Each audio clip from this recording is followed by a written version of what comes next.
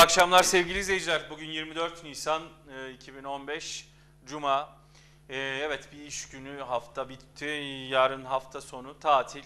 Birçok özellikle kamuda çalışan sevgili izleyicilerimiz için e, yarın rahat. Bugün bol bol televizyon izleme şansları var. Ve biz de evlerinize konuk olduk bunu fırsat bilerek. Yeni bir program, yeni bir neşter, yeni bir konuğumuz var. Konumuz aynı. Yine aday adayla adaylarımızı tanıtıyoruz artık. Aday adaylarıyla başlamıştık. Şimdi artık partiler listelerini oluşturdu.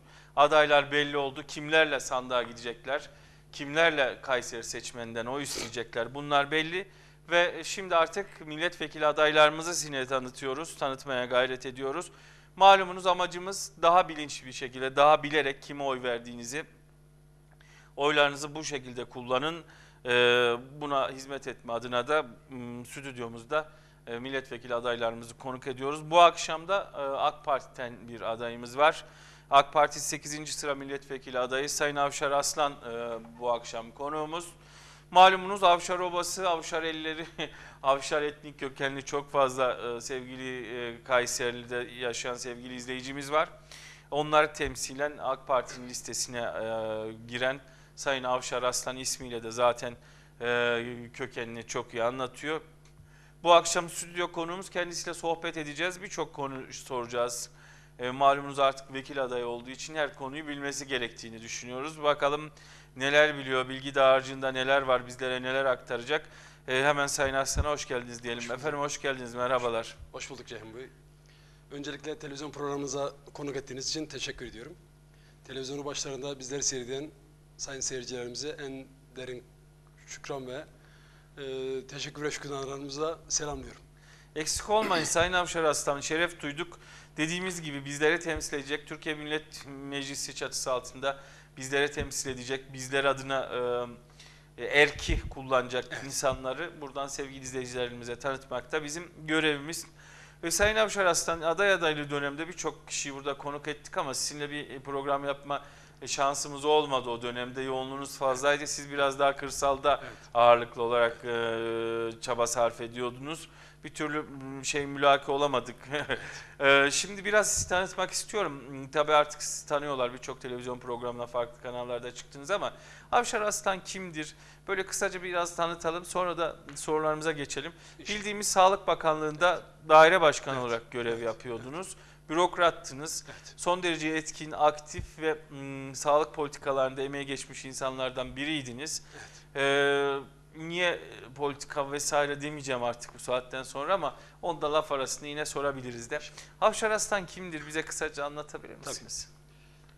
Ben 1970 yılında Kayseri Sarız Kıskaç Köyü'nde dünyaya 70 doğumlu? Evet 70 doğumluyum. Kıskaç Köyü'nde dünyaya geldim. Ben de 70'liyim ama Evet. vallahi kardeşim gibi duruyor.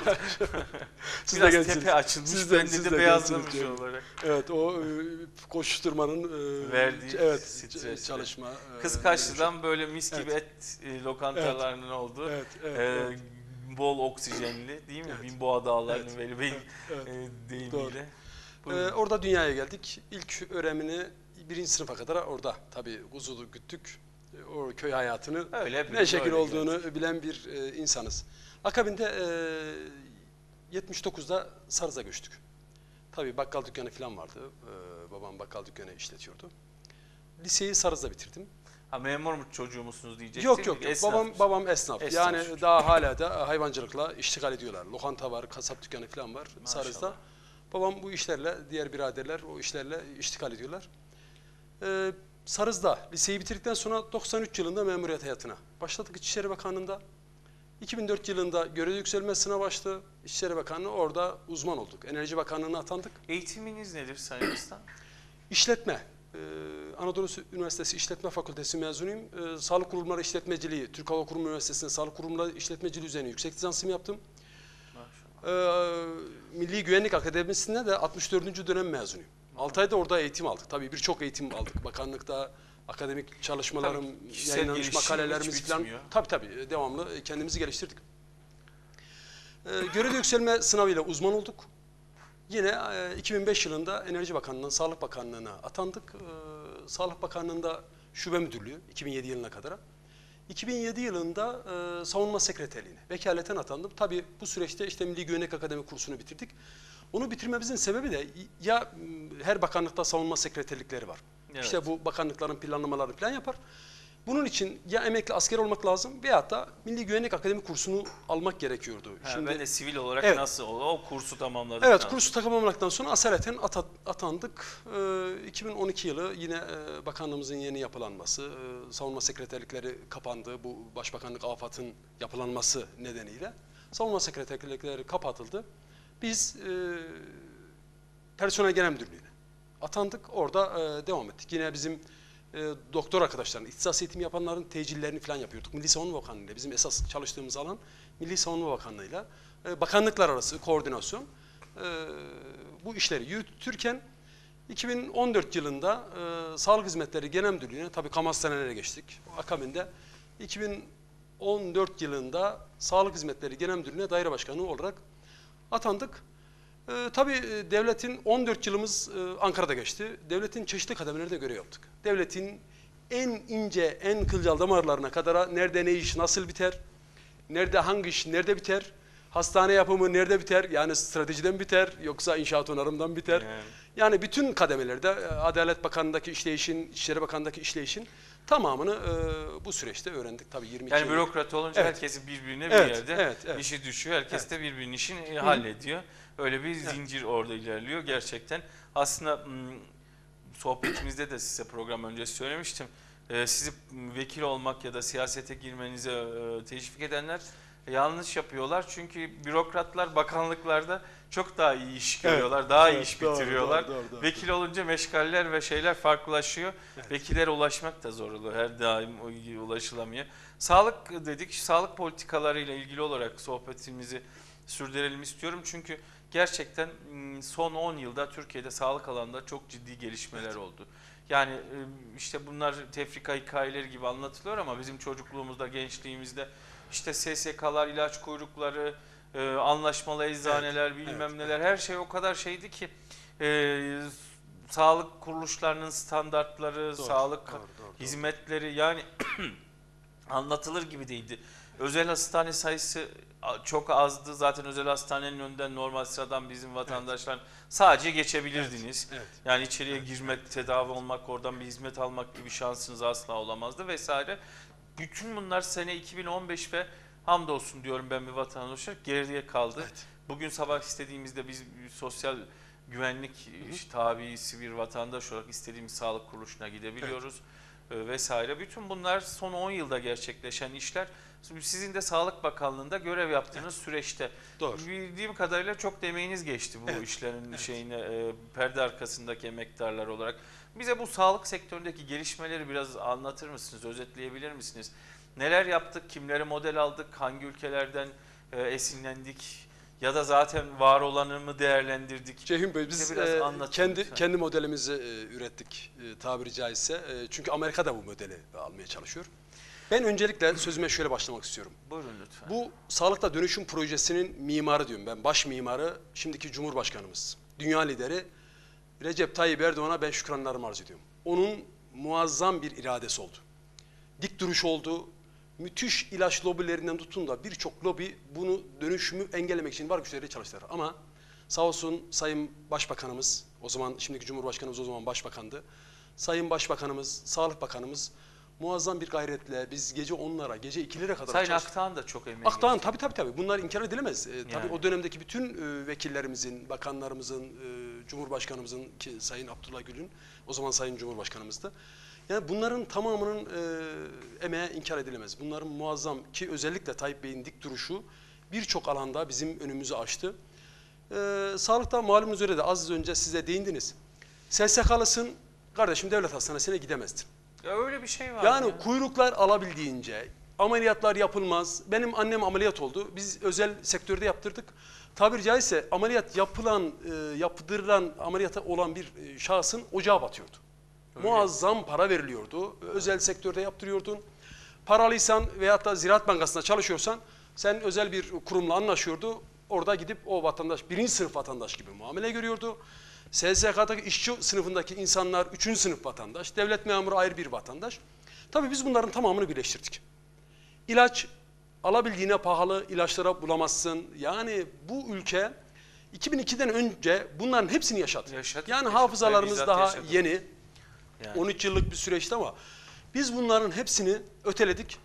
Şükür e, daha ileriye e, otel konforunda yani birer kişilik odalarda biz hastane hizmeti sunuyoruz. Şu anki yani geldiğimiz noktada standartlarını yakalamadıysak da yine bayağı yol kat ettiğimizi evet düşünüyorum. %36 hasta memnuniyetinden %76'ya çıkarttık. Yani müthiş dönüşümler yaptık. Yani biz e, sağlık alanında e, kuyrukları bitirdik. Tabiri caizse kuyrukları bitirdik. Kuyruklar bitti. tıp fakültelerini açtık. Bu süreçte yani AK Parti hükümeti sürecinde tıp fakültelerini açtık. Mezun olan hekim sayımız az idi. 78 binlerde 130 bin civarında şu an toplam hekim sayımız. Bunları çoğalttık. İlaçları ucuzlattık. Çoğu firma e, bazı ilaçları üretmekten şimdi imtina ediyor. Diyor ki ya çok ucuz. Ya, Çünkü kar marjı düşük diyor, Kar şey marjı diyor. düştüğü için ilaçları üretmemeye, azaltmaya e, çalıştılar ama biz geldiğimiz süreçte şimdi tıp e, ilaç kurumu kendi ilacımızı, kendi aspirinimizi üretir seviyeye geldik. Yani biz Yani. artık var gücümüzle e, çalışıp daha ileriye bu e, ilaçta dışa bağımlılığı, enerjide dışa bağımlılığı elimizden geldiği kadarıyla Azaltmak. en asgariye indirmeye çalışacağız inşallah. Yine İnşallah. e, şunu ben hemen belirteyim. Avrupa'dan işçiler gelirdi burada hastalandığında Avrupa'ya uçakla giderdi. Biz özenirdik. Bakın Cemil Bey. Helikopterle sağlık Helikopter, evet. Yani helikopterle şimdi e, istediğimiz ilçeye, istediğimiz köye e, ulaşılmayan yer kalmadı. Acil hasta olduğu an acil ulaşıyoruz. Uçak ambulanslarımız var. Bunlarla uğraşıyoruz. Binlerce ambulans aldık. Binlerce ambulans aldık. Hastanelerimizi geliştirdik. Muazzam yatırımlar yaptık. Yine aile hekimliğini kurduk.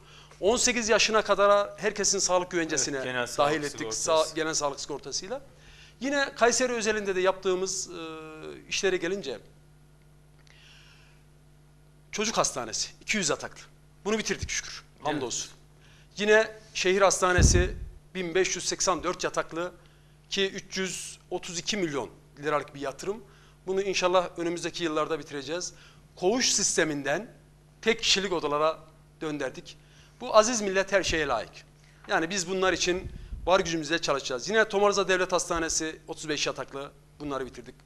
Develi Kadın Doğum Hastanesi bunu bitirdik. Yine de Melik Gazi Ağız Diş Sağlığı Merkezi 40 ünitlik bu bitti.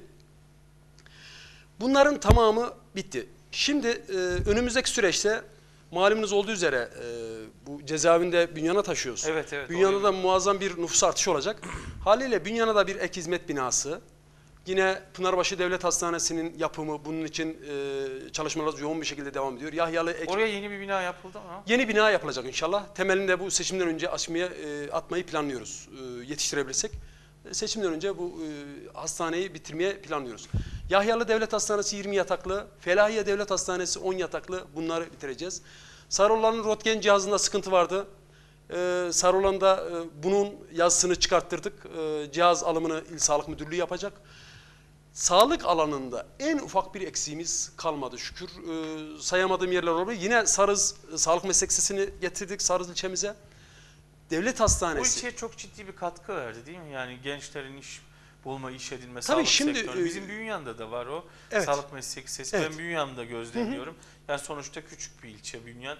Ee, işte eğitim seviyesi de işte üniversite okuma vesaire anlamında çok yeterli olmuyor. Sağlık meslek lisesi o anlamda ciddi bir katkı verdi. Evet. Çok fazla sağlık sektöründe oradan mezun olan ya da daha ilerisinde okuyabilen gençler yer alıyorlar. Bir bir ilçenin şeyini değiştirebiliyor. Ekonomisinde böyle. katkı oluyor. Ceyhun Bey bunlar e, ben bacası fabrika diyorum. E, Ben ilçe gezilerinde e, ilk aday adaylığı sürecinde ilçelerin çoğuna 5 kere gittim. Bu süreçte de 13 kilo zayıflamışız. Yani 13 kilo koşuşturmaca. Bir dahaki şeye ben de aday adayım? Develi'ye Develi'ye 6 kere gittik Ceyhun Bey. Yani birçok ilçemize, ben ilçe teşkilatlarımıza, sevgili Kayseri ilçe halkına, ilçelerimizde yaşayan bütün halkımıza Doğru. ve Kayseri yereldeki insanlarımıza ben şükranlarımı arz ediyorum sizin huzurunuzda. Bizler hakikaten e, büyük bir teveccühle karşıladılar. Akkışla, Felahiye, Sarıoğlan, Özvatan, İncesu, Yahyalı, Yeşilisar, Tomarza, Bünyan, Sarız, e, Pınarbaşı tamamı merkez ilçelerine dahil muazzam bir teveccühle bizleri ağırladılar, karşıladılar sağ olsunlar. İnşallah biz onlara layık oluruz. İnşallah. Tabii bu e, süreçte de eksiklikleri de gördük. Yani ilçelerin e, muazzam bir göç var. Bunu Sayın ÖSSK Başkanım, bizim lokomotifimiz diyorum. Ben dokuz kardeş olarak görüyorum hepsini. Bizim lokomotifimiz... e, Sekiz kardeş bir bacı. Evet, sekiz kardeş yani. e, hava Hanım'a bazen takılıyorum. Diyorum ki sen bizim Asena'mızsın. Doğru. Ee, hava kardeşimizle beraber biz 9 arkadaş olarak inşallah meclise gitmeyi planlıyoruz. İnşallah, İnşallah. 9'a 9 yaparak biz bu Yani e, büyük yarışta bir hedef. çıkacağız. Ee, Tabii. e, bu amaçla da çok çalışılıyor. Hüsnü Evet. niyet var ortada. evet, evet. Ve herkese muvaffakiyetler diliyoruz tabii Evet. ki. Yani hayırlısı neyse olsun Allah inşallah. olsun. Bu ilçe gezilerinizden biraz bahsedelim. Konu çok ama ilçe gezileri özellikle önemli. Çünkü seçim çalışmalarının start verdiği andan itibaren daha öncesinde AK Parti'nin o yönden takdire şayan bir yönü var. Ee, Yani 4 yıl boyunca hiç şeyi bırakmadılar. İşte vekiller olsun, il teşkilatı olsun sürekli il, il, il- şey, ilçe ilçe, köy köy, kasaba kasaba gezdiler. Aday adaylığı süreciyle birlikte ve şimdi adaylık süreciyle birlikte yeni bayrağı teslim alan insanlar da bunu sürdürüyor. İlçe gezilerinde nelerle rastlıyorsunuz? Şimdi muhalefet e, adaylarının bir takım eleştirileri oluyor. İşte çiftçi zorda, köylü zorda, işte ekemiyor, biçemiyor, köylerde insanlar kalmamış falan deniliyor ama şimdi ben de bir köy çocuğuyum. Tablo gerçekten bu kadar, bu kadar vahim mi? Ceyhun Sonra Bey, ilgili mi? e, Siz ne gözlemlediniz? Biz e, Ne gibi talepleri oluyor? Yani artık köylerde internet var, köylerde yok yok öyle Evet, bir konuma evet. geldik. İşte herkes uydudan her tarafı izliyor vesaire. bu Sizin muhalefetteki değerli kardeşlerimiz zannediyor ki 1980'lerin Türkiye'si, 1970'lerin Türkiye'si zannediyor ama maalesef öyle değil. Herkesin cebinde internet var. Herkesin evinde internet var. Telefon her köyde çekiyor. Bütün köylerimize telefon çekiyor. Bakınız e, 2002 öncesini ben hemen kısaca köyleri özetleyeyim. Geçme parke taşı yoktu hiçbir köyde. Çamurdan çıkılmazdı. Camiye giderdin dizine kadar çamur olurdu. E, Hele de bu mevsimde. Yani bu mevsimlerde bütün köylerimize geçme parke taşı yaptık. Şükürler olsun şimdi köylümüz diyor ki kardeşim bizim şurada az bir yerimiz kaldı. Yani bunu istiyorlar. Biz bunların tamamını yaptık. Babam il genel mesut üyeliği yaptı 2004-2009 yıllar arasında. Köydes projeleriyle biz bunların tamamını bitirdik. Yani kanalizasyonu olmayan köy tek tük. Yani bunlar eksik ama bizim eksikliklerimiz bunlar da kısa sürede inşallah eksik olan yerleri de tamamlayacağız. Yani Evet. kanalizasyonu kalmayan köy, suyu olmayan köy, geçme parke taşı olmayan köy, tabiri caizse asfaltı olmayan köy kalmadı. Hayvancılıkla ilgili muazzam teşvikler verdik. Yani biz Bir de bu bütün şehir şeyiyle yasasıyla köyler şehirlerin mahallesi haline Tabii, geldi. tabii, bu tabii. Nasıl bir değişim yaratmış? Şimdi yani bu- yaklaşık bir yıla yakın oldu bu şey yürürlüğe gireli yasa ve Büyükşehir Belediyesi yaklaşık bir yılda yakındır e, çalışıyor bu anlamda. şimdi yani e, 30 Mart'tan sonra başladı işte Evet. çalışılıyor. Yani e, keşke Nasıl bu bir bir, yıl yaratmış? önce olmuş olsaydı. Ceyhun Bey ben kendi ilçemden örnek vereceğim. Buyurun. Yani çünkü Bizim- Sarız'da evet Kayseri'nin en az Sarız'ın gelişmiş en ilçelerinden birisi. e, az gelişmiş ilçelerinden biri. E, diğer ilçelerimiz alınmasın ne olur. Yani ben Yok. buradaki e, sıkıntıları bahsederken bu genel ilçelerdeki Öyle, sıkıntılar. tabii, yani ortak sorun, e, ortak sorun. ortak sorun. Bizim Sarız 17 kilometre mahalle yolları vardı. Sağ olsun ÖSSK Başkan dedi ki kardeşim ben bunları yapacağım. Parti siyaset ayrımı yapmaksızın biz bu bütün köylere. Damızlığın suyu yoktu. Damızlığın suyu bir mitikte e, geldi ÖSSK Başkan bir vatandaşımız çıkarttı dedi ki bu bulanık su. Yani şu çaydan biraz daha açık e, bulaşık suyu gibi bir suyu getirdi. Biz bu köylerimizin tamamının su sorununu hallettik. Yani tamamı halloldu. Yine Sarız'ın mahalle Şimdi yollarının tamamı içilebilir su akıyor? Su akıyor. Dediğim gibi yani kısa az e, parkesi olmayan yani kanalizasyon parkeyi olmayan yerlerde de kanalizasyon sorunları var. Onlar da kısa sürede tamamlayıp muazzam bir teveccühle karşılanıyoruz. Biz köylerde e, köylerimizde bu eskiden yoktu. Bir seçimden seçime gelinirdi. Ondan sonra köyler unutulurdu. Köylü de unutulurdu. Ama hayvancılığa verdiğimiz teşvikle şükürler olsun. Biz bu göçü de önlemek zorundayız. Yani bir ilçede yaşayan, Geriye ilçede dönüş büyümüş. var mı? Yani göç önleme işte bu biraz da geriye dönüş de sağlamak. Ceyhun Bey şunu yapmamız lazım. Biz inşallah bu aziz milletimiz bizi meclise öncelikli üye yapmak zorundayız. Ve ilçelere biz üniversitelerin yüksek okullarını getirmek zorundayız. Bakınız ben e, bunu e, aday adaylığı sürecinde de söyledim. Maraş'ın ilçelerine bakın yüksek okullar var. Göksu'nda görev yaptım ben. Bu arada bundan not alayım. Ben e, Maraşlı Kayseri'de burada yaşayan Maraşlı hemşerilerime ben 8 yıl hizmet ettim. Onlardan da e, inşallah oy Destek talebimiz var. E, desteklerinizi de bekliyoruz. Tek desteklerini bekliyoruz tabii. Şimdi Maraş'ın Göksu'nun bütün ilçelerinde yüksekokullar var. Bakınız Sivas'a, Sivas'ın bütün ilçelerinde yüksekokullar var, var. evet. Yani bu ilçelerin esnafına katkı sağlıyor. Esnafı orada absorbe ediyor, ister istemez ilçeye de girdi sağlıyor. Bu girdi ilçeyi canlandırıyor. Canlandırıyor. Ben e. Kayseri e, büyük bir çınara benziyor diyorum e, Cehim Bey. Muazzam bir büyük bir çınar ama bu köklerin kurumaması lazım. Kökünere Yahyalı, kökünere Akkışla, kökünere Sarıoğlan, Sarız, Pınarbaşı, Tomarza bu köklerin kurumaması lazım. Artık biz göçü büyük şehirlerden, başka şehirlerden almamız lazım. Niğde, Nevşehir, Yozgat, Sivas. Ağrılı birçok hemşerimiz var. Bugün e, Ağrılı kardeşlerimizle de hasbihal ettik. E, dış illerden alması lazım. Şunu da ben belirteyim. Adana'da da e, MTA Bölge Müdürlüğü'nde görev yaptığımda orada muhalefet e, bir belediye başkanı e, beyefendi dedi ki ben size Paris vaat etmiyorum, Kayseri'yi vaat ediyorum, Kayseri'yi. Hakikaten bu mimalde Sayın Öseseki Başkan Kayseri'yi bir vizyon kenti haline getirdi. İnşallah biz Kayseri gerçekten e, daha da bunu ileriye götürüp ilçelerimizle beraber, köyümüzle beraber, mahallelerimizle beraber kalkınarak, köylüyü yerinde tutarak, desteklerimizi vererek bu işi e, var gücümüzle çalışıp e, onların bir mecliste sesi olup e, bu sorunu da e, en kısa sürede çözmenin gayreti içindeyiz inşallah. Evet kırsal kesim dediğimiz kırsalı da Evet. e, çevre ilçe ve köylerini de şehir merkezi standartlarına getirmek getirilmesi gerekiyor. Ee, gelişmişlik ancak bu haliyle tam anlamıyla gerçekleşmiş olacak.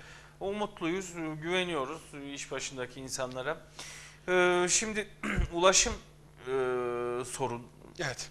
Galiba gittiğiniz yerlerde bu konuyla ilgili olarak da sizlere ulaşan şikayetler ya da talepler olmuştur. Ee, Kayseri şehir merkezinde ya da yakın Interland'da bu yoksa bile uzak e, kesimlerde Interland'da ulaşım bir problem. Yani sizin ilçeniz Sarız'dan Kayseri'ye gelmek şimdi nasıl sağlanıyor bilmiyorum ama e, daha önce başkanın ve e, diğer e, adayların da böyle taahhütleri vardı. Şimdi Sayın Vekil adayı oldu Evet. e, Sayın Öseseki. Ulaşımla ilgili ne talepler geliyor? Ulaşımla ilgili neler Ulaşımla yapılmış? ilgili e, Ulaşım konusunda sorun herhalde Evet. değil mi? Yani Ceyhun bu Bey anlamda şunu ben e, gerek. ben belirteyim.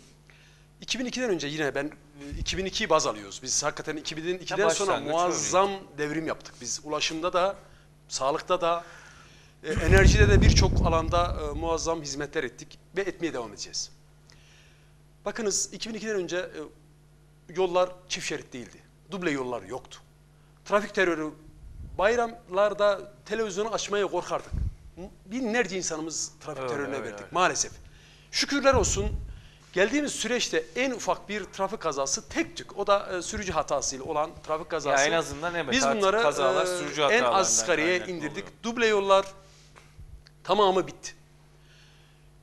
Ve tünelle Marmara'yı e, Boğaz'ı biz üçe böldük. Tünelle böldük. Köprüyle üçe böldük. İnşallah üçüncü köprü de bitecek. Yine hızlı tren projeleriyle Eskişehir hattı bitti. Konya hattı bitti. İnşallah Kayseri Ankara hattı bitip yine Sayın Başbakanımızın burada raylı sistem açılışında Talas raylı sistem açılışında sözünü verdiği proje olan bu Antalya, Hızlı Konya, e, Kayseri hızlı hızlı tren. inşallah bunu bitirip bunu da biz e, Samsun hattına çıkarmayı planlıyoruz. İlerleyen zamanlarda inşallah Samsun'la Karadeniz hattındaki e, hemşerilerimizle biz Kayseri'de kayak merkezlerinde turist olarak sağlık turizmine de biz bunu e, açıp e, bu şekliyle Antalya ile Kayseri'yi bağlayıp ba- bunu da kuzeyle bağladık. Yine Ordu Adana hattı e, bölünmüş duble yol. Biz bunlarla tamamını sağladık. Yine hava yoluyla hava ulaşımı şükürler olsun halkımız e, otobüse biner gibi uçağa biner seviyeye getirdik. Yine Kayseri havalanına muazzam yolcu sirkülasyonu var. Niye? 60 liraya, 63 liraya, 100 liraya uçakla yolculuk yapabiliyor. Bu aziz millet, bu Tamam. şerefli millet. Ulaşımda da muazzam yatırımlar yaptık. Yeterli mi? Değil. Dağları deldik, Karadeniz otoyolunu bitirdik. Rahmetli, rahmetle anıyorum ben burada ağır nasla yetişmiş büyümüş Kayserimizin veda iftarı Mimar Sinan'ın eserleri gibi biz Türkiye'yi ilmek ilmek işledik ve devam ettireceğiz bunu Allah'ın izniyle. Bu aziz milletimiz bize imkan sunacak. Bu aziz milletimiz bizi meclise gönderecek. Biz bu bayrağı daha ilerilere götürmek için bizden sonraki gelen nesilde daha ileri götürmek için var gücüyle çalışacak. Ben buna inanıyorum inşallah. İnşallah. Yan bulaşım başlığında şunu bir daha yinelemek istiyorum soru. Bu ilçe ve köylerde bulaşıma dair talepler neler? Yani hmm, şu an nasıl sağlanıyor? Daha iyi nasıl ilgili e, herhangi bir sıkıntı yok Ceyhun Bey. Yani bütün köy yollarımız asfalt. Yani en ufak bir e, Çoğunda zaten kişisel sıkıntı özel otoları falan Yine e, şeyde de e, biz e, ulaşım ağını filosunu kurup yani ilçelerimizle Büyükşehir Belediyesi e, otobüslerle e, bu imkanda inşallah sunacağız. E, yine e, sarı olan e, Yeşilhisar hattı, Banliyö hattını da geçen bir toplantımızda ÖSSK Başkanımızın başkanında bir toplantı yaptık. Bu hattı da e, yine hızlı e, bir seviyeye getirip yerinde e, vatandaşımız kalarak, Sarıoğlan'da kalarak e, gelip organize sanayide işini görüp akşamda evine dönmesini Dönebilecek. sağlayacağız inşallah. Evet, e, savunma sanayi ile ilgili Kayseri'ye projeler vardı. Sayın e, Başbakan'ın ve daha sonra gelen birçok bakanın dillendirildiği savunma sanayinin Kayseri'de yapılandırılması ve Kayseri'nin savunma sanayi açısından bir lojistik merkez haline getirilmesi gibi planlar vardı. Bu anlamda hükümetin e, ya da işte e, önümüzdeki dönemde e, hedeflediği, planladığı bir takım çalışmalar var mı? O anlamda savunma sanayinin Kayseri'de inşa edilmesi, şekillendirilmesi anlamında bir takım projeler, çalışmalar var mı? Bu konuda dillendirilmiş e, size yansıyan durumlar var mı? Burada paylaşabilir Ceyhun Bey, misiniz? e, biz 27 yıldır e, terörle mücadele eden bir ülkeyiz. Biz e, Amerika'ya bağlı, İngiltere'ye bağlı veyahut da dış ülkelere bağlı bir şekilde bununla mücadele edemeyiz. Yani bu sürdürülebilir bir süreç değildi. Biz insansız hava aracımızı ürettik, Anka'yı ürettik. Yine e, yerli helikopterimiz ATA ürettik. Tankımızı yaptık. Altay tankı Leopard tankıyla e, yarışır, ihalelerde yarışır düzeye getirdik. Yerli füzemizi ve yerli piyade tüfeğimizi ürettik. İnşallah dünyanın e, savunma sanayinde de muazzam bir gelişme sağladık.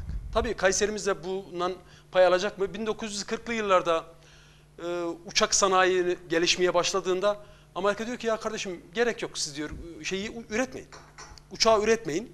Biz size Maalesef hibe edelim. Maalesef maalesef muazzam bir sıkıntı yaşadı bu ülke ve e, Kıbrıs Harbi'nde de bunun cezasını çektik. Çektik, evet. Maalesef cezasını çektik. Onun için bizim laf değil, bizim icraat üretmemiz lazım.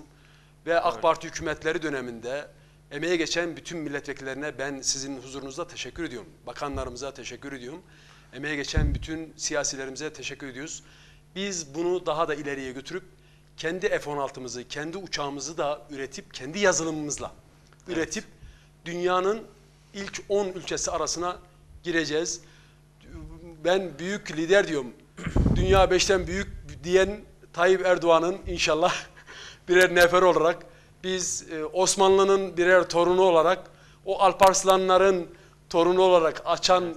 Anadolu'yu açan Alparslanların torunu olarak biz bu alanda var gücümüzle çalışıp yerli savunma sanayimizi güçlendirmek durumundayız ki Allah vermesin olağanüstü bir durum olduğunda çevremiz kaz, cadı kazanı Suriye'deki durumu Yani. görüyoruz. Ben e, burada birçok Suriyeli vatandaşımız var. E, ben şunu söylüyorum. Sevgili Kayserili hemşerilerimize tabii çok Kayserimize de çok. Komşumuzu açken kendisi tok yatan bizden değildir diyor Peygamberimiz. Biz tabii Suriye'deki vatandaşlarımız burada. E, tabii buna e, yerelde tek tük pek fazla şey yok ama bu insanlar bize Pakistanlılar bize Kurtuluş Savaşı'na muazzam destek oldulardı. Bu insanlar bize destek olmuşlar. Tabii ümmet Tabii dayanışması bunlar da böyle bir e, o insanları biz koruyup da kapımızı gerekiyor. açtık. Bunlara da yardımlarımızı esirgemiyoruz. Var gücümüzle de çalışacağız inşallah. Yani evet o anlamda gerçekten takdire şayan bir durum. Ee, Dünya da bunun farkında.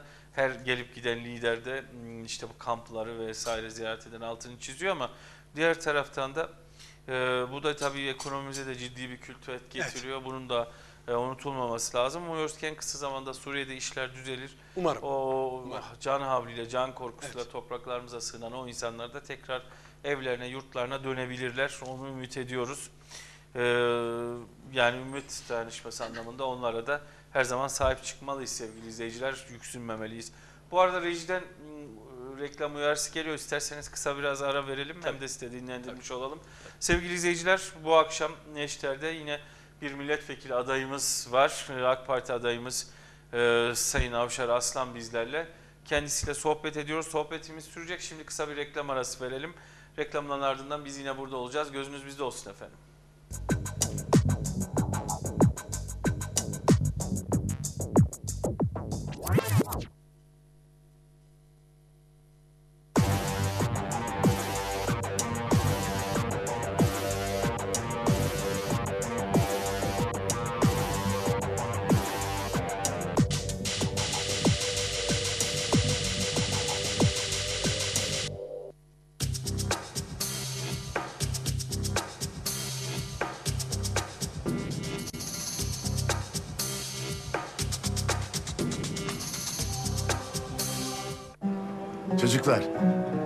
Tekini karşıdan, Selim'den alın.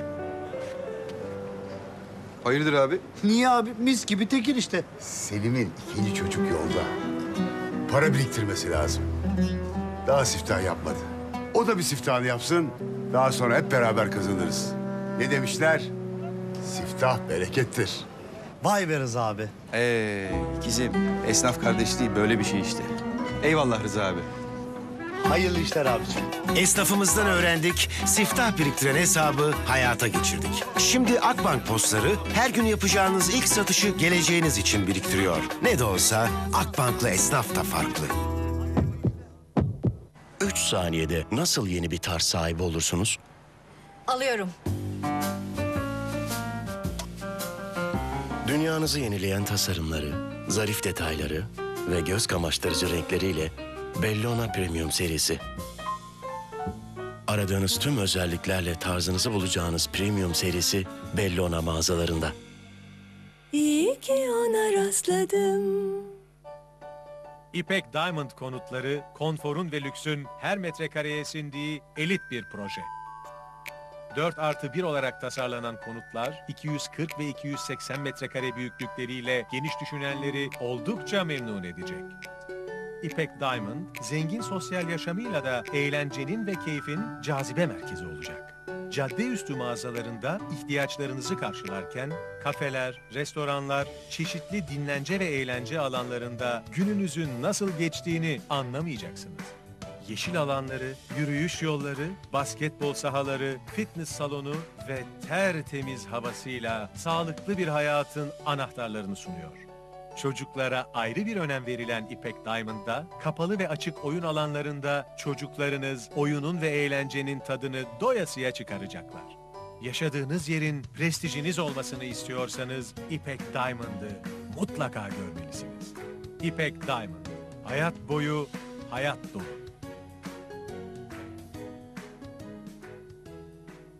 Hadi rastgele. Cavit, Cavit dur. Cavit dikkat dikkat. Orada satılık bir ev var. Bu evi kaçırmayalım Cavit. Kızım ilk bulduğun eve atlamasaydın ya. Hürriyet Emlak'tan akıllı harita. Hürriyetemlak.com'a girin, aradığınız ev nereye ne kadar yakın akıllı harita özelliğiyle bulun.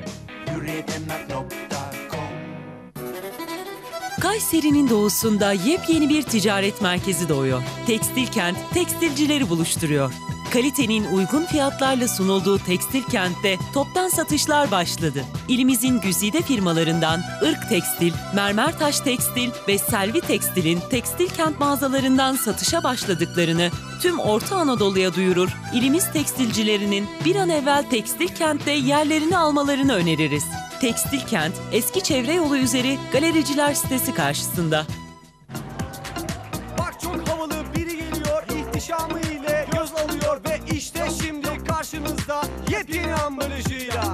Sevdiğim tat, o bildiğim tat, o meysu meyve suyu. 70'ten günümüze meysu şimdi yeni ambalajında.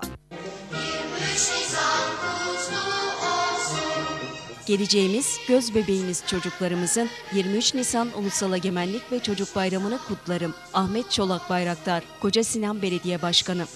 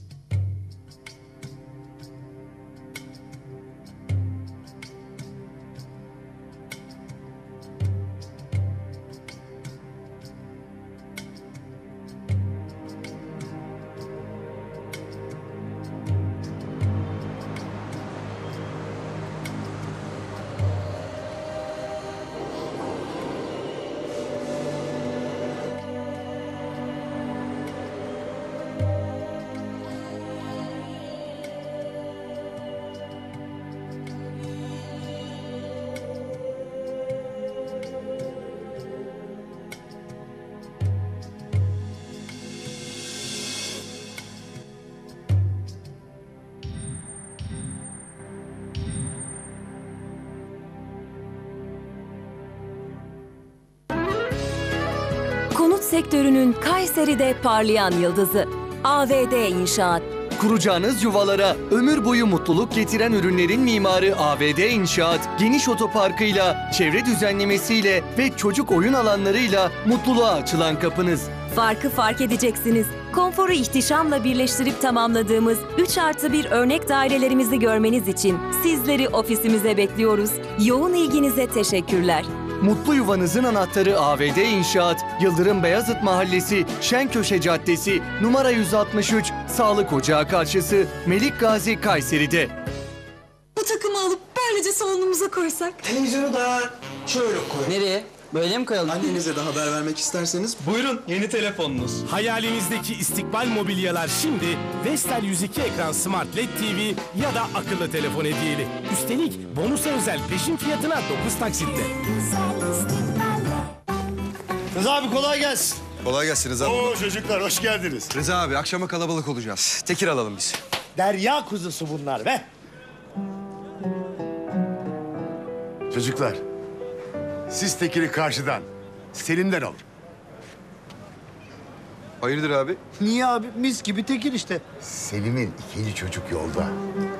Para biriktirmesi lazım. Daha siftah yapmadı. O da bir siftahını yapsın. Daha sonra hep beraber kazanırız. Ne demişler? Siftah berekettir. Vay be Rıza abi. Ey ikizim, esnaf kardeşliği böyle bir şey işte. Komşusu siftah yapmadan içi rahat etmez bizim esnafımızın. Eyvallah Rıza abi. Hayırlı işler abiciğim. Sağ olun. Esnafımızdan öğrendik, siftah biriktiren hesabı hayata geçirdik. Şimdi Akbank postları her gün yapacağınız ilk satışı geleceğiniz için biriktiriyor. Ne de olsa Akbank'la esnaf da farklı.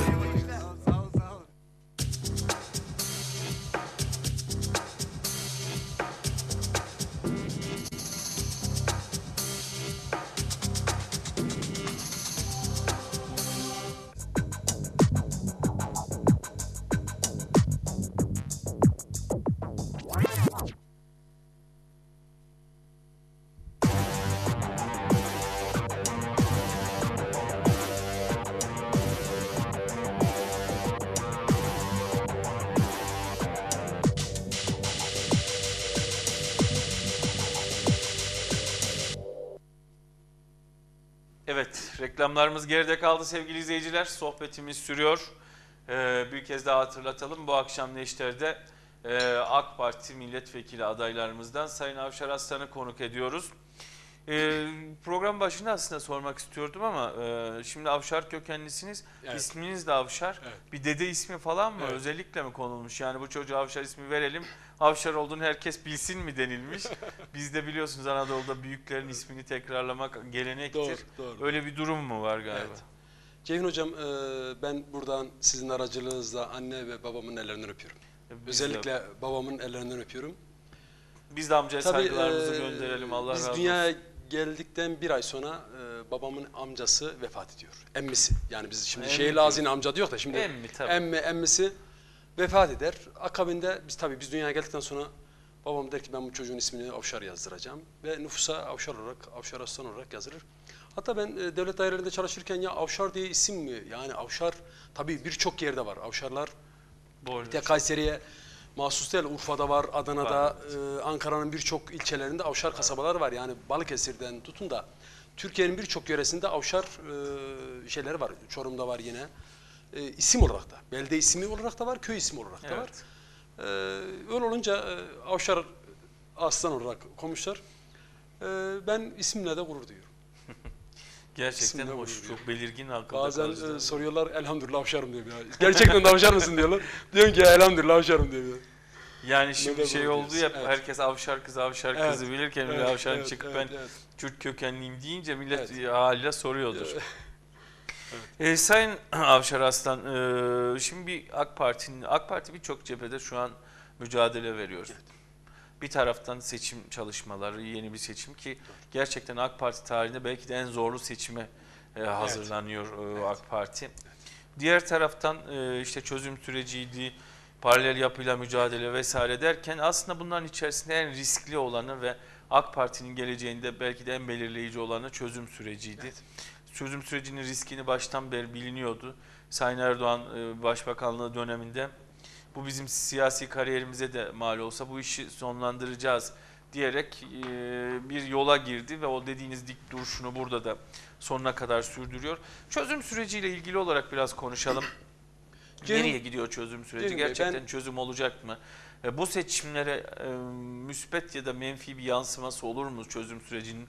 Özellikle e, bunlar özellikle sevgili izleyicilerimizle de paylaşmak istiyorum. E, mesela Milliyetçi Kanat'tan AK Parti'ye gelen oyların bu çözüm süreci vesilesiyle geri adresine döndüğü vesaire konuşuluyor. O anlamda neler söylersiniz efendim? Şunu ben e, sözlerime şöyle başlamak isterim. Ben 97 yılında Diyarbakır'da, Diyarbakır Bismil ilçesinde asistan olarak görüyordum. En son Murat operasyonuna katıldım ki o bölgenin en büyük çaplı operasyonuydu. Tabii Evet. böyle yıllara siraya operasyon olurdu ama muazzam büyük çaplı bir operasyondu. Kucağımda ben şehit verdim. Benim dayımın oğlu terörde şehit oldu. Bir ay sonra dayımın hanımı, annesi vefat etti. Yine sınıf arkadaşım şehit oldu. Teröre birçok şehit verdik. Ben şuradan başlamak istiyorum. hepimiz bir Genelkurmay verilerinden başlamak istiyorum. Gerçekten. Kurtuluş Savaşı'nda 10.885 şehit vermişiz. Kurtuluş Savaşı'nda. Doğru. PKK ile mücadelede 11.735 şehit vermişiz. Bunlar korucu polis ve asker. Yani Türkiye Cumhuriyeti kimliğini taşıyan 50 bin insanımız gitmiş. Evet. 50 bin insanımız gitmiş. Yine 6 Cumhurbaşkanı, 9 Başbakan, 9 Genelkurmay Başkanı, 23 İçişleri Bakanı değişmiş Doğru. 30 ve yıldır sürüyor. 16 hükümet değişmiş.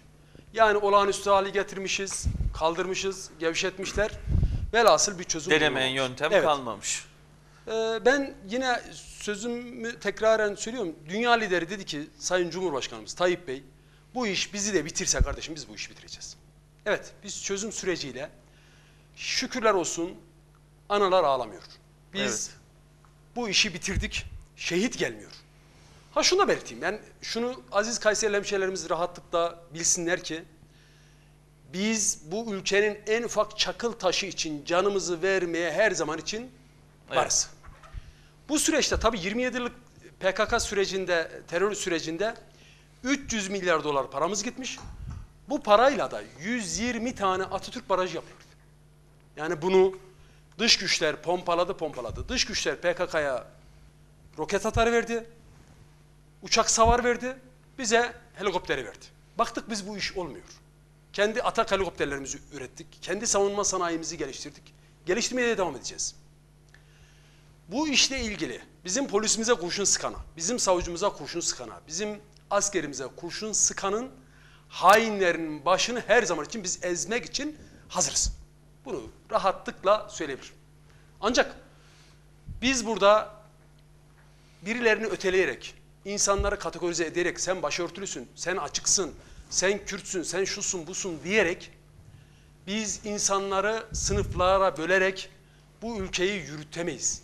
Bu kanla biz beslenen Yani ötekileştirmenin, ötekileştirmeden kucaklayarak Ha, bir ama faydası olmadığını gördük. Bizim bizim askerimize, bizim polisimize, bizim savcımıza, bizim insanımıza bu memleketi bölmeye çalışan hainlere biz kesinlikle fırsat vermeyeceğiz. Vermedik, vermeyeceğiz. Bunu ben açık yüreklilikle rahatlıkla söylüyorum. Ki birçok şeyde de alanda da Sayın Cumhurbaşkanımızın bu konuda da açıklaması oldu. Ee, Kürt meselesi diye bir sorun kalmadı. Hakikaten kalmadı. Yani birçok alanda e, köy isimlerini değiştirdiler, değiştirdik. E, dille ilgili bir sıkıntıları kalmadı. Yani herhangi bir sıkıntıları kalmadı. Ama yine dediğim gibi bizim bu ülkenin en ufak bir çakıl taşına için canımız feda, feda olmaya her zaman hazırız. Bu da böyle biline. Bu Peki ülkenin huzurunu kaçırmaya gerçekten barış gelir mi? Şunun için söylüyorum. Yani hükümet gerçekten bu anlamda dirayetli, üzerine düşeni de yapıyor. Birçok konuda da gerçekten millet olarak da bu barış gelsin diye ezberlerimizi bozduk. Ee, Birçok şeyi zorla da olsa kabullendik. içimiz kan ağlayarak da olsa kabullenmeye çalışıyoruz ki bu kan ve gözyaşı dursun diye. Ama karşı tarafta muhatap olarak baktığınızda çok güvenilir, reel verilerle gelen, yaklaşan, sözünde duran bir yapı yok. Yani işte Kandil başka dilden konuşuyor, İmralı başka telden çalıyor, işte meclis uzantısı bir öyle bir böyle. Bütün bunlara baktığımızda gerçekten bizim, e, bizim, sonuç Ceyhun Bey bizim muhatabımız muaf- e, bizim muhatabımız e, Kandil değil. bizim muhatabımız oradaki yaşayan halkımız. Yani Bölge halkı. Bölge halkı. Bizim muhatabımız bölge halkı. Bunu da e, sizler daha iyi biliyorsunuz. Hakkari'de biz varız. Şırnak'ta varız. Diyarbakır'da varız. Bakınız oy oranlarına CHP'nin bir tane oyu yok. Çıkmıyor. Evet. MHP'nin bir tane oyu yok. Sivas'tan öbür tarafa gidemiyorlar. Yani Devlet Bahçeli bir Tunceli'ye gitti apar topar kaçtı geldi. Kardeşim şey gitti yine Kılıçdaroğlu gitti. Hakkari'de Türk bayraklarını açtırma, açmadı, açıramadı, açtıramadı. Böyle bir şey olur mu? Türk bayrağı Hakkari'nin en yüksek dağında da dalgalanır. Edirne'nin en ücra sınırında da dalgalandırır, dalgalanacaktı. Biz bu milletle hep beraber, Kürdüyle, Çerkeziyle biz kategorize etmeden hepsini kucaklayarak ki Kurtuluş Savaşı'nı da bu insanlarla beraber vermişiz. Yemen'deki kardeşlerimizle beraber vermişiz. Biz böyle mücadele etmişiz. Evet. Bin yıldan beri de beraber yaşamışız ama e, dış güçler burayı bölmek için, buradaki kargaşayı çıkartmak için, bizi de bölmek için var güçlerle uğraşıyorlar ama bu aziz milletimizin sağduyusu buna müsaade etmedi. Darbe girişimlerinde bulundular, her şeyi yaptılar. 27 Aralık darbe girişimi biliyorsunuz cemaatin yani yaka silktirdi ama dik durduk. Evet. Dik durmaya da devam edeceğiz. Bunlara biz fırsat vermeyeceğiz. Laf da üretmeyeceğiz. Biz hizmet üreteceğiz. Her zaman için. Yani hizmet bölge üreteceğiz. halkı bunun farkında Bölge halkı da bunun farkında. Farkında. Evet. Bunlar da artık HDP de bunun e, bilincinde olması gerektiği kanısındayım.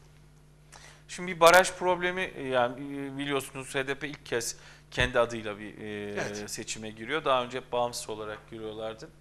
Ve gerçekten kıran kırana AK Parti ile bir mücadele oluyordu. Şimdi e, barajı geçme anlamında da çok ciddi işe asılıyorlar. Bu mm, AK Parti'ye bir oylarında bir kayıp ya da bir gerileme anlamına gelebilir mi bölgede? İste- Biz- veriler ne söylüyor, Biz anketler ne o söylüyor? konuda e, rahatız. E, 8.75 9 civarında oy alır HDP. Barajı geçebilir Baraj mi? geçemeyecek Ceyhun Bey. Yani. Bu 8 Haziran'da göreceğiz. HDP barajı takılacak. HDP barajı geçemezse süreç nasıl ilerler? Çözüm süreci. yani Süreçte- şu an muhatap olarak az çok devlet onlarla görüşüyor. Sonra ne olacak? Süreçte bir sıkıntı olacak kanısında değilim. Yani oradaki insanımız da feraset sahibi insanımız. Ee, ki bu kanun durmasını herkes istiyor. Yani Türkiye Cumhuriyeti sınırları içinde yaşayan bütün kesim istiyor ki huzurlu bir şekilde hizmet gidiyor. Bu, bu, bu şekilde sürdürülebilir bir durum değil. Anladım. Yani Diyarbakır Bismillah göre yapmış bir insan olarak bunu söylüyorum ki oradaki vatandaş da bundan çok muzdaripti. Ya bölge Evinden halkının bu dışarı işi çıkamıyor, yani- desteklemediğini, bu esas Ee, mağdurun onlar olduğunu Yaylasına evet, çıkamıyor, e, düğün Köyler, yapamıyor, cenazesine kapandı, gidemiyor. Yani köyler çok birçok köy boşaltıldı. Yani anlar artık e, oradaki insanlar da artık ilde e, yaşayan, büyük şehirde yaşayan insanlar da kendi köylerine dönmek istiyor. Onun için e, bunlar da e, ben öyle inanıyorum. e, kesinlikle bu e, çözüm sürecinin başarıya ulaşması için var güçleri çalı- çalıştıklarının e, inancındayım ve öyle de olacak inşallah. Bizim başka gidecek ülkemiz yok. Suriye cadı kazanı gibi gayrıyor. İran, Irak yine keza öyle. Mısır yine öyle. Libya öyle. Orta Doğu cadı kazanı iken bizim gırtlak gırtlağa e, şunu, şunu altını yine çizerek söylüyorum. Bizim bu ülkenin en ufak bir çakıl taşı için kanla sula aldığımız bu ülkeyi hep beraber biz kimseye bir çakıl taşını verme gibi lüksümüz. Yani ve bu ülkenin huzurunu bozdurmaya e, kimsenin hakkı da yok. Sürecin sonunda orada bir özel bölge oluşturma vesaire anlamında bunun olası olmadığını ben de Biz bir vatandaş tek olarak bayrak, düşünüyorum. tek devlet dedik ve öyle de devam edecek inşallah. Biraz enerji politikalarından konuşalım. Türkiye gerçekten enerji e, harcamaları çok yüksek olan bir ülke ve bütçenin büyük bir kısmı biz enerjinin hemen her türünü neredeyse dışarıdan alıyoruz. Petrol alıyoruz, doğalgaz alıyoruz, elektrik alıyoruz ve kendi enerjimizi üretmekte, kendi öz kaynaklarımızı kullanmakta ne hikmetse biraz bugüne kadar şey kalmışız, tembel kalmışız. Var olan hidroelektrik santrallerini kapattık, termik elektrik santrallerini kapattık. İşi tamamen e, bir dönem Mavi Akım projesiyle doğalgaz endeksleyip birilerinin eline verdik. Yanlış politikalar oldu. Şimdi enerji anlamında işte nükleer santralin temelleri atıldı, çalışmalar devam ediyor. Daha sonrakiler için, ikinci ve üçüncü için fizibiliteler, çalışmalar sürüyor. Genel anlamda enerji politikamızı değerlendirecek olursanız Türkiye e, enerjiye harcadığı ya da verdiği bu kadar dövizi nasıl ülkesinde tutabilir? Bunun için AK Parti hükümeti neler yapıyor? Ne gibi çalışmalar var? Ceyhun Bey, e, biz bununla ilgili Akkuyu Nükleer Santrali'nin inşallah e, yapımına başlandı. Pardon. Geçen haftada Enerji Bakanımız buradaydı. Organize Sanayi Bölgesi'nde Evet. güneş panellerinin açılışını yaptı.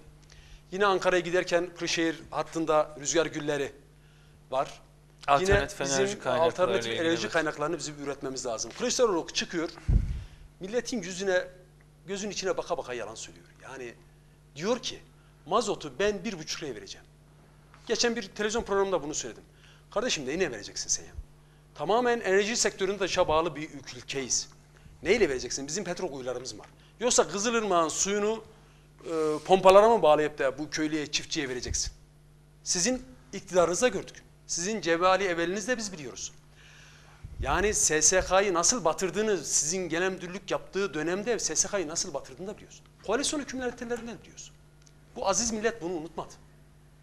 2002'den önce rahmetli Ecevit elini sallardı, dolar düşerdi. Elini kaldırmazdı, iki gün kayıptı. Dolar fırlar alır başını giderdi. Ve yazar kasayı biz yemedik. Biz bu millete hizmet için yola çıktık. Hizmette de devam edeceğiz. Ve rüzgar gülü hususunda da birçok alanda fizibiliteyle çalışmaları devam ediyor. Yine bizim Yeşilkent, e, Veli Bey'in de e, köyü yani beldesi. Biz yalak Yalak, diyoruz yalak evet yalak diyoruz. Orada da yıl 12 ay rüzgar eksik olmaz. Ki 9 olan baş mevkii ve Türkiye'nin çeşitli yörelerinde biz bir rüzgar güllerini, HES'leri e, yaparak dışa bağımlı olan enerjimizi en asgariye indireceğiz inşallah. Hmm, Bu anlamda çalışmalar alternatif enerji kaynakları ve nükleer enerjiyle devam ediyor diyorsunuz. Doğalgaz konusunda e, özellikle mm, bizim kendi kaynaklarımızda doğalgaz var mı yok mu işte bundan bir çalışma var Kaya mı? gazı e, ile ilgili e, Evet, Enerji vardı, yapmış olduğu vardı. çalışmalar var. Yine bor madeni ile ilgili e, borda da dünyada lideriz. Bor madeni ile ilgili yapmış olduğu çalışmalar var. İnşallah bunda da bir gelişme sağlarız. İnşallah. Sağlıkla başladık, eğitimle devam edelim isterseniz. Eğitim, sağlık ve eğitim Türkiye'de en önemli iki sektör. Yani bizler için, vatandaş için çok önemli olan iki sektör. Eğitimle ilgili olarak ne gibi plan ve projeler var? Ee, Eğitime dair hem Kayseri hem Türkiye geneline baktığımızda ne gibi yenilikler, ne gibi gelişmeler olacak? Ceyhun Bey, e, eğitimde çok yerlerde çocuklarımız okula gitmiyordu. Biz dedik kardeşim çocuklarınız okula gitsin. Özellikle fakir kesim çocuklar. Çok zeki çocuklarımız var. Çok ciddi bir şeye gelip o 4 artı 4 sistemi değiştirildi vesaire. Evet, e, yani ve- bu olumlu yansıdı mı? Şu an için vatandaşın bu yansıdı. anlamdaki bir Ee, şikayeti biz- var mı? Ee, çocuklarımız okula başladığı gün okulunda hazır kitabını buluyor. Bir lira para vermiyor. Bir kuruş biz O çocuklarımıza gerçekten para önemli bir, yani e, hizmet muazzam oldu. bir hizmet oldu. Fakir e, fukaranın çocuğu gidemiyordu okula. Yani okul giderlerini karşılayamadığından dolayı e, bunu alamıyordu. Bu tabii e, bir, bir kül- külfetti. Ailedeki fakir kesimin çocukları için ki zeki çocuklarımız vardı bizim. Bunlar için muazzam bir külfetti. Biz ünü- 81 ilde üniversite kurduk. Yine tıp fakültemiz azdı, doktor ihtiyacımız çok fazlaydı. Kişi başı düşen doktor sayısı çok az idi. Biz inşallah önümüzdeki 3 yıl içerisinde e, üniversitelerimize mezun olan doktor sayımız çoğalacak. Bu sağlık alanındaki hizmetlerimiz de yine tıp alanındaki hizmetlerimiz de artacak. Eğitimdeki kalite, e, peygamberimize demiş yüce yaradan ikra, oku. Ben buradaki gençlere, sizin aracınızda gençlerimize sesleniyorum. Gençler, sevgili gençler, geleceğimizi emanet edeceğimiz gençler, lütfen okuyun. Fende okuyun. İlim edin. Uzay ki uyduyu da gönderdik uzaya. Biz uzaya artık bizim çıkmamız lazım. Bizim artık uzay teknolojisini konuşmamız lazım. Bilişim teknolojisinde bizim geri kalmamamız lazım. Yani biz bunların hepsini yapmamız gerekiyor diye düşünüyorum ve buna da inanıyorum. İnşallah e, var gücümüzle çalışacağız. Tabii e, Kayserimizde de dört tane üniversitemiz var. Biz bunlarla da iftihar ediyoruz. İnşallah bu üniversitelerimizin kollarını da ilçelerimize dağıtarak e, buradaki bacasız fabrikalarda çoğaltmanın e, yollarına bakacağız inşallah. Milletvekili olursak. Yani e, inşallah değilse de geriden gelenler Evet. bunları takip Evet. etmeliler, Evet. Evet. yapmalılar diyoruz. 400 milletvekili hedefi vardı Sayın Cumhurbaşkanı'nın bu seçimler için. Yani yeni bir anayasa yapabilmek ve sivil ve daha sivil bir anayasaya kavuşma anlamında belki başkanlık sistemi için vesaire e, 400 milletvekili bir hedef vardı. Bu hedef ne aşamada sizce 400 milletvekili hedefini AK Parti yakalayabilir mi? E, Sizin öngörünüz nedir? Sayın Başbakan Yardımcımızın Beşir Atay'ın yapmış olduğu anketlerde şu an partimizin oy oranı yüzde 48. 49'a doğru gidiyor. Sayın Başbakanımız bize aday tanıtımında bir çıta verdi. Dedi ki kardeşim biz yüzde 55. İnşallah yüzde 55 ve üzerini yakalamak için var gücümüzle çalışacağız. Tabii bu 400 milletvekilini çıkartmak için, başkanlık sistemini getirmek için çalışacağız. Ceyhun Bey ben şunu e, belirtmek isterim. Burhan Hoca benim öğretmenim, hocam yani. Bir Sayın yıl- Kuzu. Burhan Kuzu evet, Evet. Sayın Kuzu. Bir yıl e, anayasa hukuku derslerimize girdi ki 23 yıl 24 yıl öncesinden bahsediyorum. O zamandan beri Burhan Hocam derdi ki kardeşim başkanlık sistemi başkanlık sistemi. Ülkede istikrar olması için başkanlık sisteminin gelmesi lazım. Ben buna inanıyorum. Anladım. Ülkede koalisyon hükümetlerini gördük. Hep kadük gitti. Bu ülkenin atılım yaptığı üç iktidar var. Bir rahmetlik Adnan Menderes ki astılar. Darbeciler astılar. Üzülerek bunu söylüyorum. Burada da rahmetli Menderes'i yad ediyorum. Şükranla yad Evet, ediyorum. Allah Mekanı cennet olsun. Rahmetli Özal hükümeti vardı, ANAP hükümeti. Bu süreçte ülke ivme kazandı. Muazzam bir yol aldı ama e, yine kadük kaldı. Ve AK Parti hükümeti dönemi başladı. E, Liderimiz Tayyip Erdoğan aldığı muazzam bir seviyeye getirdi. Ha bu yeter mi? Yetmez. Bir e, Avrupa'dan Almancılar geldi. Biz arabaların içine düşerdik. Acaba Mercedes nasıl? Şimdi Avrupa bize hayran. Biz bunu daha da ileriye götüreceğiz inşallah. Bu aziz milletimizin sayesinde, milletimizin bize vereceği destekle biz 400'ü çıkartacağımıza inanıyoruz. Kayseri'de de 9'da 9 yapacağımıza inanıyoruz inşallah. Ee, yeni anayasa bir önceki seçimlerde de hemen bütün partilerin seçmene vaadiydi. Daha dediğimiz gibi sivil, daha militarist kafa yapısından uzak, herkesi kucaklayan bir anayasa ama e, ne yazık ki işte birçok nedenle e, olamadı yani. Şimdi irdelemenin çok da mantığı yok. Yeni anayasa yeni dönem için olası mı sizce? Yeni bir anayasamız olur mu sizce? Yeni yasa, anayasa hayal değil. Darbelerin üretildiği anayasalardan kurtulmamız lazım. Bu gömlek bize dar geliyor. Evet. Ve CHP buna karşı çıktı. Malumunuz basından da sizler daha iyi biliyorsunuz. Yani CHP bu süreçte 60 madde değişecekti, karşı çıktı. Yeni anayasa kalmadı. Yani İnşallah üzerinde hemfikir biz- olunan şeylerin bile biz hayata halkımızla kimse onay vermedi. güzel Türk halkıyla beraber bu sevgili halkımızla biz bu anayasayı değiştireceğiz. Yasakları yasaklayan bir anayasa yapacağız inşallah. Özgürlükçü bir anayasa yapacağız inşallah. Biz bu yolla çıktık yola. İnsan haklarını koruyan özgür bir anayasa için bu yola çıktık.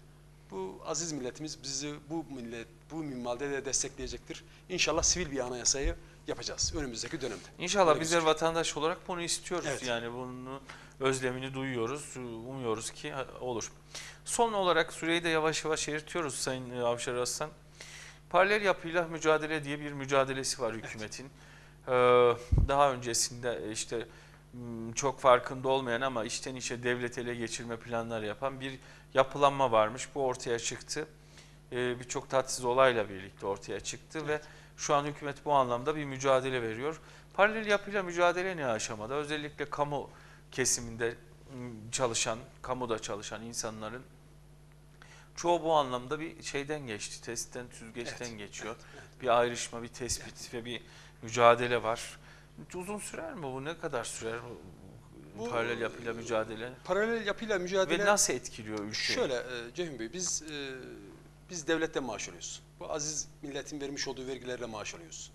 Biz Yani. Ali'den Veli'den bağlı olarak çalışarak devlet memuru birilerine bağlı olarak hizmet etmez. Devletine bağlı olarak. Devletinden alır hizmeti. Devletinden alır emirleri ve ona göre işini yürütür. Onun için e, birilerine bağlı olarak alan insanların bu devlete hayrı olmaz. Olamaz. Netice itibariyle de e, paralel yapıyla da e, mücadelemiz devam edecek. Darbe süreçleriyle mücadelemiz devam edecek. Biz milletten aldığımız bu yetkiyi birilerine bırakma lüksünde değiliz. Bu yola çıkarken Sayın Başbakanımız şimdiki Cumhurbaşkanımız beyaz kefen gömleklerini giyerek bu yola çıktılar. Onun için bunlara şimdiye kadar fırsat verilmedi. Bundan sonra da verilmeyecek inşallah. İnşallah yani en kısa zamanda sonuçlanır. Ee, Evet süreyi doldurduk. Ee, Sayın Avşar Aslan buradan son olarak sevgili izleyicilerimize, sevgili Kayserilere neler söylemek istersiniz? Mesajınız nedir? Talebiniz nedir? Ee, Buyurun sizi e, sevgili izleyicilerimizle baş başa bırakalım. Ekran sizin efendim. Taleplerinizi sıralayabilirsiniz. Buyurun lütfen. Sevgili izleyicilerimizden bizim istirhamımız şu, biz şu desturla yola çıktık. İnsanı yaşat ki devlet yaşasın düsturuyla yola çıktık. İnşallah bunu biz rehber edineceğiz. Sevgili Kayserili hemşerilerimizden de istirhamımız Dadaloğlu'nun torunlarına selam olsun diyorum. Şeşi torunlarına selam olsun bir avşar olarak. Ee, hepsini saygı ve sevgi hürmetlerimle selamlıyorum. Şunu da ben belirteyim. Niğde, Nevşehir, Yozgatlı, Maraşlı Kayserilerimi, e, Kayseri'de yaşayan hemşerilerimizi unutmadık. Biz onlardan da ağırlı hemşerilerimizden, Em- Erzurumlu hemşerilerimizden de. Sivaslılar da var. Çok Evet, güzel. Sivaslılar da var. Gerçi İsmail abi tabii. Ee, İsmail hocam onları temsilen var ama e, biz buradaki yaşayan hemşerilerimizden, bütün Kayserili hemşerilerimizden desteklerini esirgemeyeceklerine inancımız sonsuz. Bizleri e, evlerinde, televizyonlar başlarında bizleri izledikleri için ben şükranlarımı arz ediyorum. Ee, sağ olsunlar. Rabbim ne dileğiniz varsa, ne isteğiniz varsa onu versin. Hayırlı geceler. Allah'a emanet olun. Biz de çok teşekkür Sağ olun, ediyoruz. sağ Ayağınıza Ceyhun sağlık. Biz Kırmadınız bizi. sağ. Programımıza konuk oldunuz. Şeref duyduk. Ee, biz de size muvaffakiyetler diliyoruz. Diğer Sağ bütün olun. adaylara e, olduğu gibi. Rabbim hayırlısı neyse onu hepimize nasip etsin inşallah. Sevgili izleyiciler bu akşam da AK Parti e, milletvekili adaylarından AK Parti listesinin 8. sırasında yer alan Sayın Avşar Aslan'la sohbet etmeye, o Sayın Aslan'ı sizlere aktarmaya çalıştık. Bir de olaylara Sayın Aslan'ın penceresinden, bilgi dağarcığından aktarmaya çalıştık. Umuyoruz muvaffak olmuşuzdur. Tanıma, tanıtma ve oy vermedeki tercihlerinizi yönlendirme adına. Ee, yeni programlarımız olacak. Haftaya çarşamba ve cuma günlerde yeni isimlerle yine karşınızda olmayı ümit ediyoruz. Yeniden görüşünceye dek tüm güzellikler sizlerin olsun. İyi bir hafta sonu temennisiyle Allah'a emanet olun. Esen kalın efendim.